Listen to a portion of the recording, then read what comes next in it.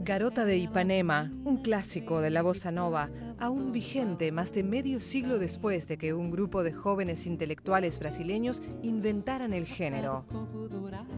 A pesar de no haber estado allí, la paulista Eliane Elías tocó con la mayoría de los grandes de la bossa nova. Su amor por el género se mantiene intacto. Bossa Nova is, La bossa nova es una maravillosa combinación del samba brasileño con un poco de jazz. Es una música muy suave. Tiene ese ritmo muy agradable, con hermosas melodías. Eliane Elías tomó esa suavidad y la mezcló con jazz y rock. Viaja por Europa para compartir el resultado. Según ella, es una forma de ayudar a mantener vivo el estilo.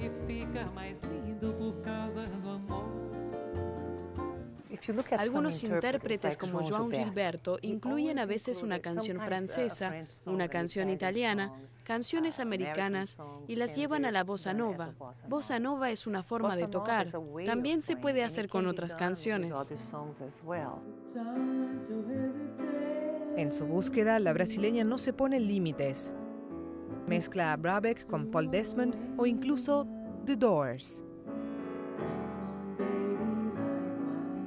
El instrumento de la bossa nova suele ser la guitarra, otra regla que la pianista deja de lado.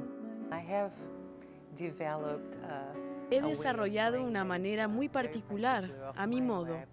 Toco el ritmo y la síncopa de la bossa nova en el piano.